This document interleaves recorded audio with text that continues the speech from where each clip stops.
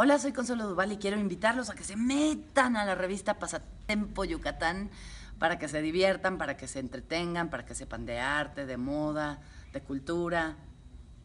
Les va a gustar. Pasatempo Yucatán.